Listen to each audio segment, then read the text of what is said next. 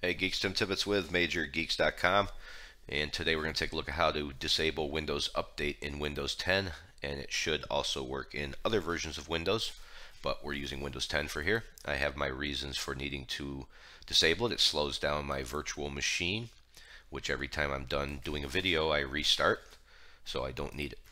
Let's um, let's do the Windows S key. So on your keyboard press the Windows key followed by S whoops, let's try to do it here. Windows S, that will bring up your search. If you start to type services, you will see services. Click on that. Now all you got to do is scroll down to Windows Update. Do, do, do, do.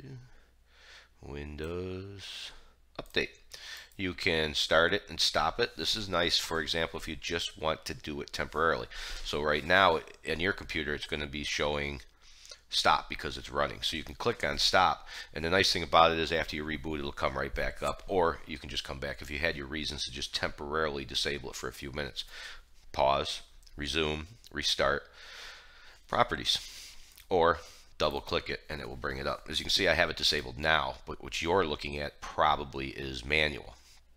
So if it says manual, here you have two choices. Click apply, OK after you switch to disabled and it'll take a minute for it to stop. A little window will pop up here showing you it's stopping it. It's as simple as that. Click apply.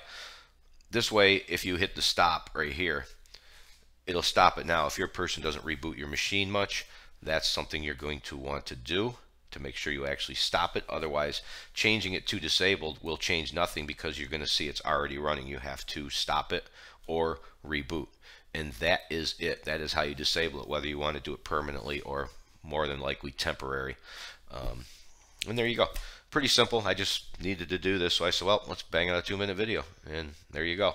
Over here, way over here, there's a subscribe button outside the window. You click that. That would be much appreciated. And as always, we thank you for watching, and hopefully we see you next time.